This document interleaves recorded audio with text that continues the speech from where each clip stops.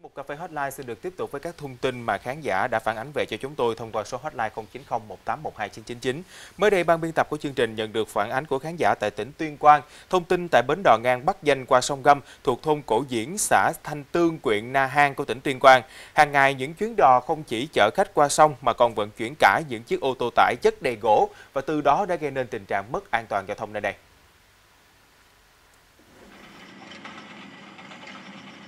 Theo hình ảnh, chiếc xe tải chở đầy gỗ có dấu hiệu quá tải đang lùi xuống bến đò Bắc Danh để lên đò. Khán giả cho biết hàng ngày những hoạt động trên diễn ra thường xuyên. Những chuyến đò không chỉ chở khách mà còn mang theo nhiều phương tiện giao thông khác như thế này, tiềm ẩn nguy cơ tai nạn đường thủy rất cao. Chưa kể đến việc người qua đò đều không được trang bị áo phao. Được biết trước đây đã từng xảy ra đám đò trên con sông này. Khán giả gửi phản ánh đến chương trình, mong muốn các cơ quan chức năng cần sớm xử lý nghiêm những vi phạm tại bến thủy nội địa trên tránh những tai nạn đáng tiếc có thể xảy ra.